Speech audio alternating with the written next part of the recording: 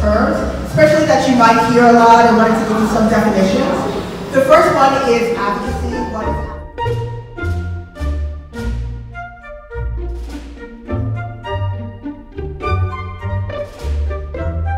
is started going to some of these marches and protests, I don't see people of color. That was like the one thing that like I saw off the bat. So we need to Civic represent. engagement is working to make a difference in the civic life of your communities.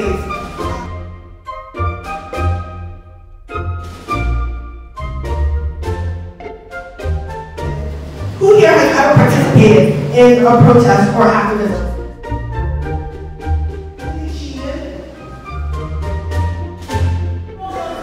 Uh, simple silence equals death in triangle.